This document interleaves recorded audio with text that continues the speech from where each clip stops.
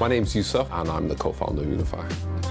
Unify started in 2019 with our My City, My Shirt campaign, which was based on Cardiff City.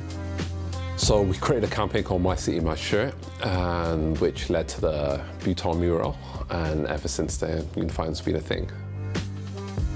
My name is Shakir Hassan, and I'm the co-founder of Unify. We've got quite a few murals. The second mural is based on the Welsh team qualifying for the Euros. We've also got the Gareth Speed, um, the WWE, and the, the HIV campaign. I think the murals, for me, are representation of the communities that they reside in. In particular, the Butetown Mona Lisa, which was created to represent the community within Butetown. Butetown is the um, oldest black community in Wales, and we just wanted to create a mural that reflects that. The murals uh, represent our voices to express identity and for the people, for the community to kind of see themselves, you know, could easily identify. Um, also to, to show that, you know, no matter who you are, what colour skin, where you came from, that you're actually Welsh.